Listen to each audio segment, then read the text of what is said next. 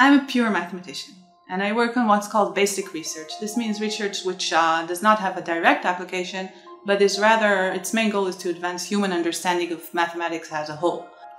Here's the question I often get asked when I say I'm a mathematician, because possibly I don't look like a typical mathematician. Why study math? You know, what's interesting about math? Or isn't everything in math already known?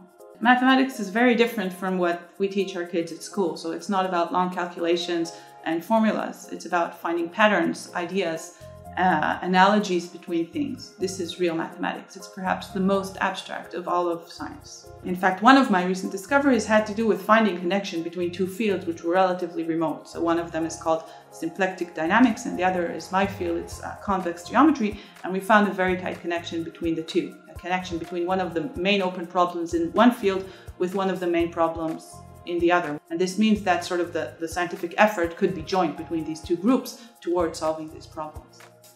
The connection, this connection that we found, it goes via something which is actually pretty well known. It goes by billiard dynamics. So you all know what a billiard table is. We occasionally we maybe play billiard, but you can also imagine changing the shape of the table and see how it influences the billiard trajectories, the way the ball moves.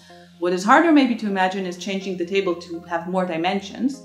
So three dimensions actually you can imagine. You can imagine a room which is covered with mirrors and you, uh, you shoot a laser beam and it reflects and it makes some kind of trajectory. This is like a billiard trajectory. Or maybe you're playing billiard in space where there's no gravity and you throw a ball and it bounces off the walls and you try to go around some obstacles or maybe you try to get into some hole.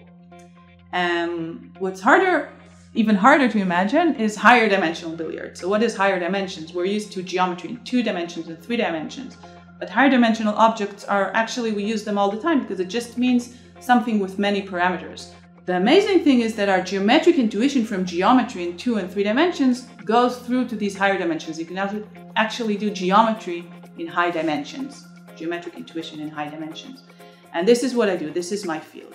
And with this kind of intuition, you can also study billiard trajectories in higher dimensional objects. And this was what helped us make this connection between the two fields, the connection I mentioned.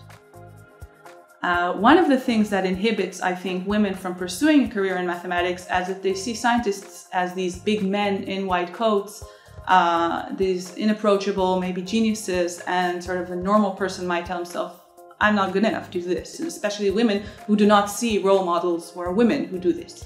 I'm not a genius, and 99% of my mathematician friends are far from geniuses. We just do this and we work hard, and all you need is really to be enthusiastic, to like what you do, uh, and to come with an open mind. It pushes your boundaries.